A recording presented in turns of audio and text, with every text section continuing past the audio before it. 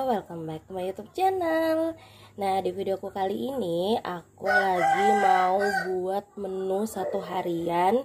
Ini aku masaknya cuma cukup sekali ya guys. Jadi ini menu buat makan siang dan malam. Nah ini aku ada kecambah. Ini sayurannya semua mau aku rebus ya teman-teman. Terus ini ada kacang panjang Terus juga ada kol ini ada kangkung juga. Ini satu ikat kecil aja ya teman-teman. Nah terus untuk lauknya hari ini aku uh, ada ayam satu paha ayam terus ada ikan nila dan juga satu ikan tongkol. Nah, yang untuk jadi yang dipakai untuk makan siang itu adalah paha ayamnya, teman-teman. Jadi yang nila itu bakal aku goreng buat bekal pas suami kerja. Nah, terus ini juga ada lauk pendampingnya. Di sini aku pilih tahu. Ini mau digoreng juga. Terus untuk sambelnya di sini aku pilih sambal bawang aja. Ini bahannya cuman pakai bawang merah dan juga cabai rawit yang kecil-kecil. Tuh ini pedes banget teman-teman. Nah, ini adalah bahan mentah dari menu aku untuk hari ini. Nah, kita lanjut ke masak-masaknya yuk. Nah, yang paling pertama aku lakuin itu adalah aku mau ungkep ayamnya dulu. Ini pakai bumbu racik aja, nanti baru kita goreng. Kalau untuk ikannya itu kita pakai bumbu biasa aja ya, teman-teman. Bisa juga pakai racik yang ikan goreng. Nah, teman-teman, di sini aku mau ngungkep ayamnya. Ini aku pakai air sedikit banyak ya.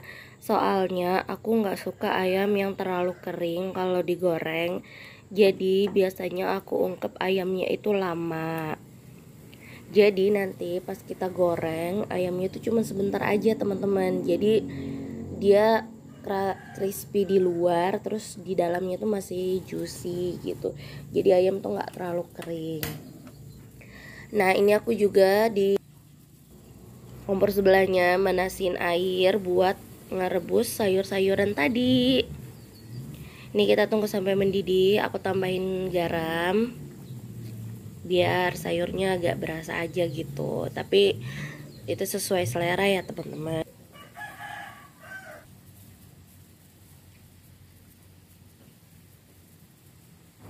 Nah ini airnya udah mendidih Jadi yang pertama aku rebus itu adalah kol ya teman-teman. Karena kol ini ngerebusnya sedikit lebih lama daripada sayuran yang lainnya jadi kita rebus kolnya sampai berubah menjadi kayak transparan gitu loh teman-teman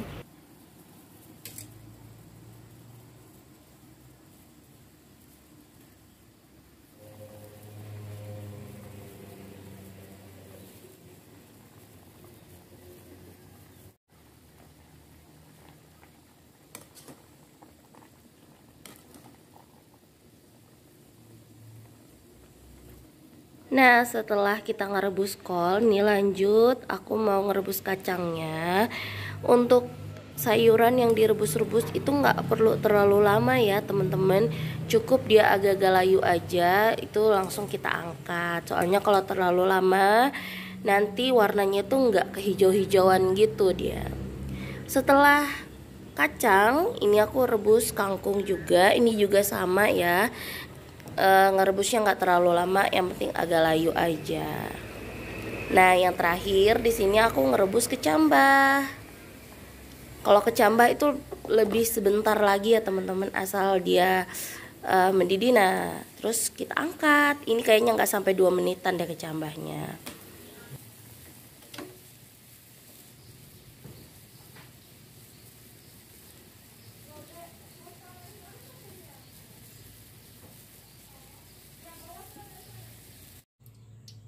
Nah, lanjut di sini pertama aku mau goreng tahu dulu ya, teman-teman, sebelum eh, lauk-lauk uh, yang lain. Jadi aku goreng tahu duluan.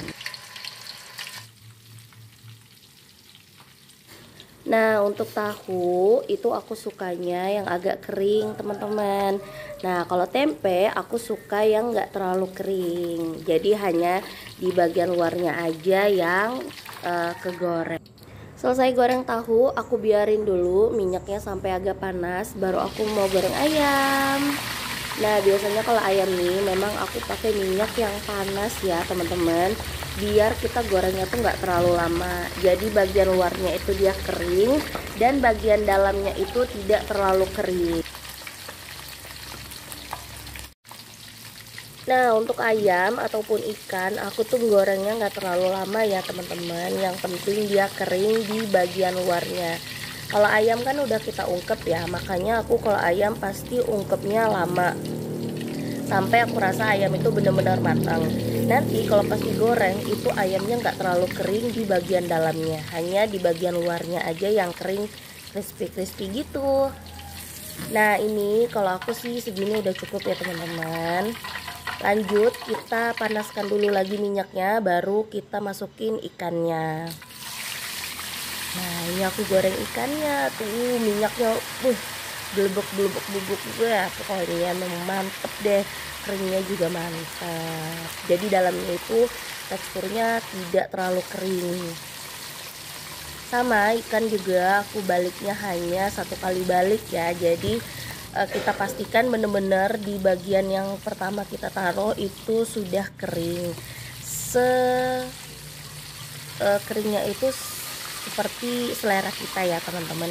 Karena selera selera itu kan beda-beda ya antara ada yang senang kering ada yang senang nggak terlalu kering. Jadi sesuaikan dengan selera masing-masing nah ini aku rasa udah cukup ya. Udah ini ikannya udah mateng ini aku angkat.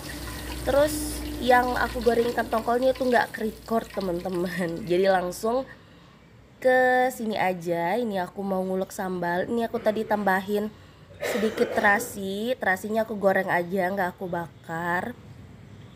Untuk bumbu dari sambalnya ini aku cuman pakai garam micin dan gula. Itu gulanya memang aku pakai sedikit banyak Nah ini dia menu makan hari ini. Teman-teman ada tahu terus ada sayuran lalap terus ada lauk-lauknya juga sambalnya juga. Oh sambalnya pedes banget teman-teman. Karena emang cabai rawitnya itu yang yang pedes deh pokoknya. Terima kasih buat teman-teman yang udah nonton video aku sampai habis. Like kalau kalian suka dengan konten ini. See you on my next video guys. Bye